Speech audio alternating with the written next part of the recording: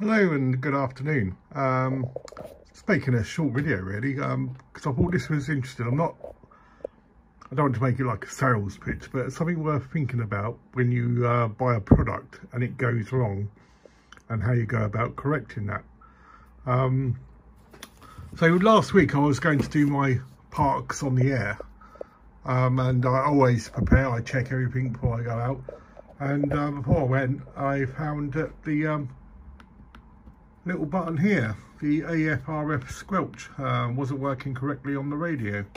Um, obviously quite disappointed about that. I've only had the radio for um, yeah, a little while. I'd say uh, probably just uh, under under a year, if not more. Um, but uh, yeah, yeah, I was a bit disappointed. Um, button wasn't working correctly. But as you can see, um, make sure the RF's off.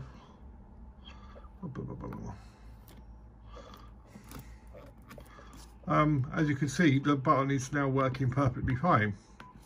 Now, I sent this to ICOM on uh, Monday. Um, picked it up on Monday and um, it's been with them and it's back and uh, today is uh, Thursday. Um, so they fixed this and returned it under warranty in this case, uh, which is even more pleasing. Um, in a matter of days. Um, it's just a really amazing customer service.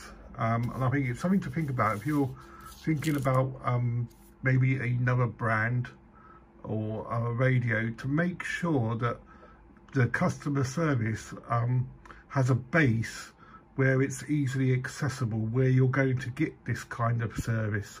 So also I'd like to point out, um, it's important to keep the boxes you know, um, not just for prosperity, but in this circumstance, if you do need to send a radio back, it came in this, so I know it's packaged very well.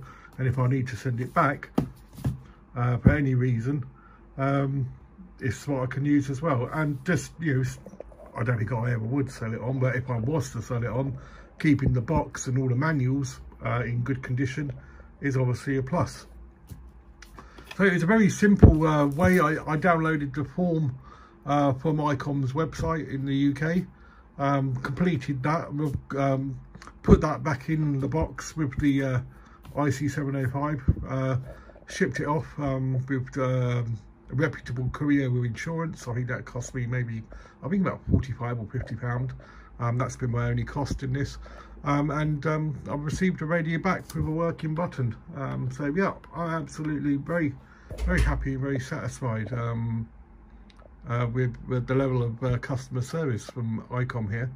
And also, it's uh, I think, yeah, do, do, you think about when you're buying these radios brand new, uh, think about, you know, as much as we don't like to think that they're going to break or have issues, what's going to happen? Um, who can you call?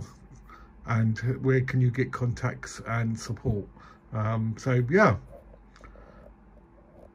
here's um, I hoping that I will be back on uh, Parks on the Air uh, again soon and um, looking forward to uh, using the 705 where she should be out in the field.